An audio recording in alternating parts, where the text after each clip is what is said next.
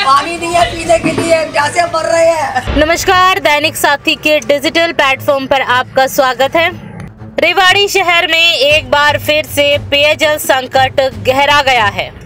जी हाँ गाँव कालका स्थित बने वाटर टैंक पूरी तरह से सूख गए हैं। जी हाँ और इसी के चलते रेवाड़ी शहर की करीब डेढ़ लाख आबादी को भीषण पेयजल संकट का सामना करना पड़ रहा है। और ये कोई नया नहीं करीब दो ढाई महीने से इस तरह की परेशानियों का सामना शहर वासियों को करना पड़ रहा है। पहले वाटर टैंक सफ़ाई के नाम पर तो अब नहरी पानी नहीं आने के चलते हालात बदतर हो चुके हैं और लोग त्राही माम कर रहे हैं। तो वहीं जन स्वास्थ्य विभाग के मुताबिक आखिरी बार 31 अक्टूबर को नहरी पानी रेवाड़ी पहुँचा था। और 11 नवंबर तक पानी चलने के बाद बंद कर दिया गया। अर्थात, रेवाड़ी शहर को महज 12 दिन नहरी पानी की सप्लाई हो सकी। जी हाँ, और इसके बाद सिंचाई विभाग की ओर से दावा किया गया है कि 5 दिसंबर को नहरी पानी रेवाड़ी पहुँच जाएगा, लेकिन ऐसा नहीं हुआ। रेवाड़ी के हिस्से का पानी झज्जर झाड़ली पावर प्लांट को दे दिया गया। और अब कहा जा रहा है कि रेवाड़ी की बदतर हालत को देखते हुए 6 दिसंबर को पानीपत स्थित खुबड़ू हेड से जीएनएल कैनाल में पानी छोड़ा जाएगा, जो कि रेवाड़ी शहर में 8 दिसंबर तक पहुंचेगा। यहाँ पर शहरवासियों को 9 दिसंबर से पेयजल की सप्लाई हो सकेगी, अर्थात अगले दो दिन भी शहरवासियों के सामने भीषण पेयजल का संकट रहने वाला है। जी हाँ और आपको बता दें कि रेवाड़ी शहर ही नहीं, पूरा जिला पेयजल के लिए पूरी तरह से जेएलएन कैनाल से मिलने वाले नहरी पानी पर निर्भर है। लेकिन कमज़ोर नेतृत्व के चलते रेवाड़ी ज़िले को कभी भी उसके हिस्से का पानी नहीं मिल पाया।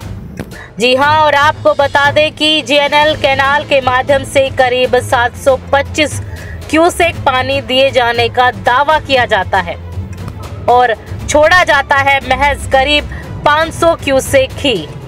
तो वहीं एक महीने में महज 12 दिन का पानी निर्धारित मात्रा से भी कम मिलना पेयजल संकट का एक बड़ा कारण है। ढिंगड़ा जी शहर में पानी की किल्लत को लेकर किस तरह देखते हैं आप और क्या कहेंगे? जी लगभग रेवाड़ी शहर में तीन महीने हो गए नियमित सप्लाई नहीं आ रही है। एक दिन छोड़कर एक दिन पानी आ रहा था। पर अब तो हद ही हो गई। पिछले तीन दिन से रेवाड़ी शहर में पानी की सप्लाई नहीं हो रही। जब मेरी सुबह विभाग के जेई से बात हुई तो जेई साहब ने कहा कि नहर में पानी है ही नहीं, बिल्कुल। तो पानी नहीं है, ये बहुत बड़ी बात है कि रेवाड़ी शहर के बड़ी बड़ी मंत्री आते हैं बड़े बड़े नेता आते हैं और कहते हैं कि हम पानी देंगे। पानी तक नहीं दे दे सकते ये लोगों को। तो बहुत भारी समस्या हो रही है, जो सारा की सारा काम है, घर का काम है। सारे काम जो है पानी से ही होते हैं। बिना पानी जल ही जीवन है, बिना पानी के रह नहीं सकते हम।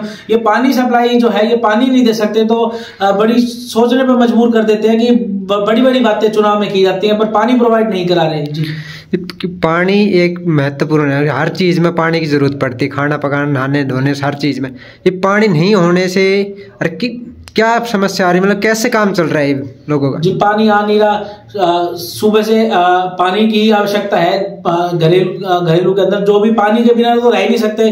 आज भी सुबह जैसे पानी की सप्लाई नहीं थी तो मेरी जेई साहब से बात थी तो जेई साहब ने पानी के टैंकर जो मेरे वार्ड में और आसपास के वार्ड में भिजवाए तो उनका धन्यवाद करना चाहता हूँ जेई साहब को कि पानी के टैंकर भिजवा दिए।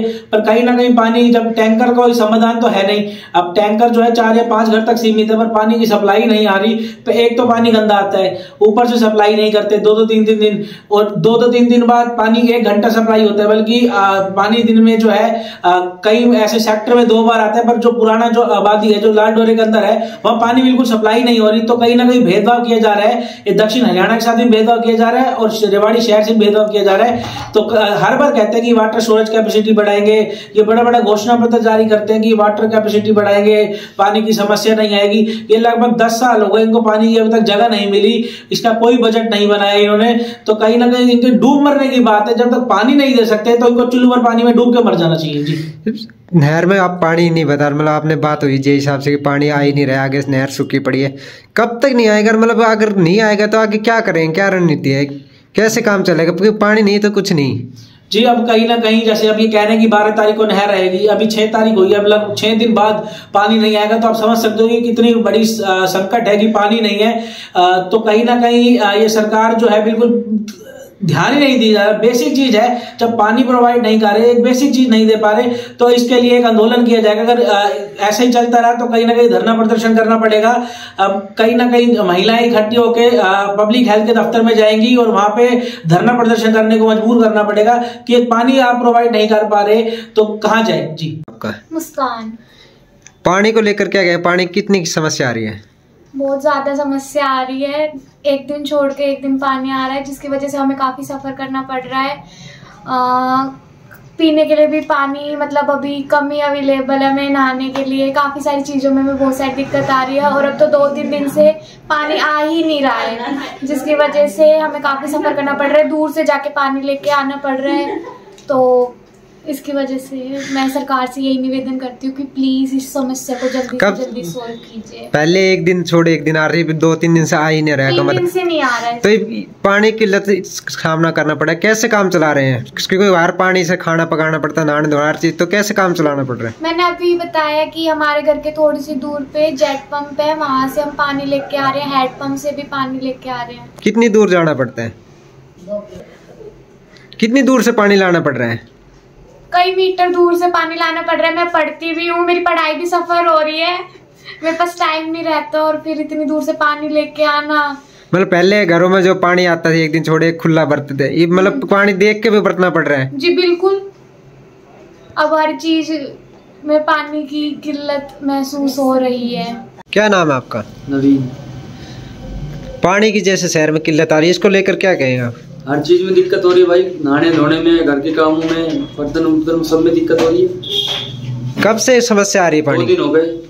तो दो दिन से पहले दो दिन से पहले कैसे आ रहा था पानी? पानी खराब आ रहा था गंदा आ रहा था। तो जैसे दो दिन तो आ ही नहीं रहा है गंदा या साफ़ कैसे भी। तो कैसे काम चला रहे हो? क्या करें भाई मोहल्ले में जैसे यार दोस्तों की जो समस्या लग रहा है वहाँ से काम चला रहे हैं। हमें तो आज वाटर सप्लाई में भी गए था। वो कह रहे भाई आज शाम को अगर आ जाता तो पानी ठीक है।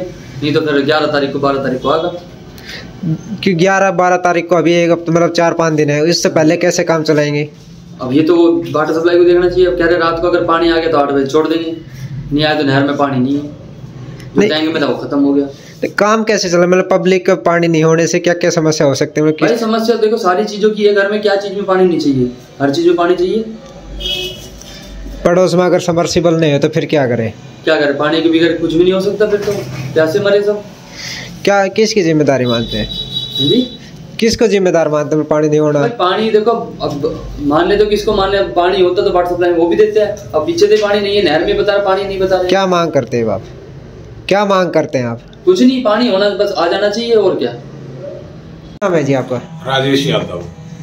पानी की समस्या को लेकर क्या कहेंगे? किस तरह देखते हैं? पानी के तो दर्शन ही दुर्लभ हो रहे हैं। कितने दिन से पानी नहीं आ रहा? जनता परेशान है। मैं खुद परेशान हूँ। क्या करें?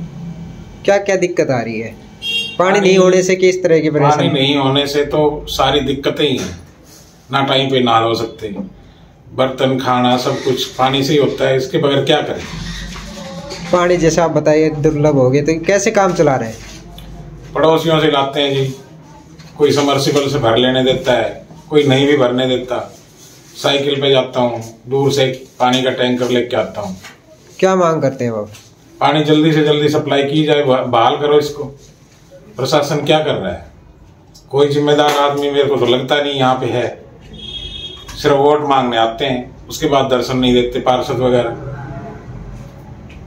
जब क्या नाम है आपका? मेरा नाम शैलेंद्र कांत है। तो शहर में पानी की किल्लत आ रही है तो इसको लेकर क्या कहेंगे? नहीं ये गलत बात है। पानी यहाँ अपने बारिशों के दिनों में इतना आता है डेढ़ डेढ़ दो दो फुट पानी भर जाता है।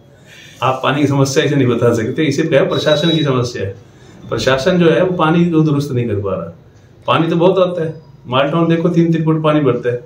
अपने मोहल्ले के अंदर डेढ़ डेढ़ फुट पानी भरते हैं।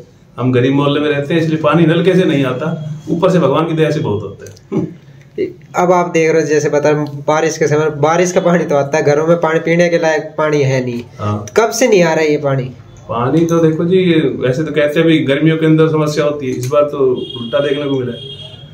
अब सर्दियों के अंदर ये पानी की समस्या आएगी तो फिर आगे पीछे तो आप समझो कितनी समस्या रहती होगी। पानी हर चीज़ में ज़रूरत पड़ती है। पानी नहीं होने से कितनी दिक्कत सामना करना पड़ता है? कितनी परेशानी आती है? ना कपड़े धो सकते हैं आदमी ना नहाता है ना ना खाना पकाना भी उसी पानी में होता है।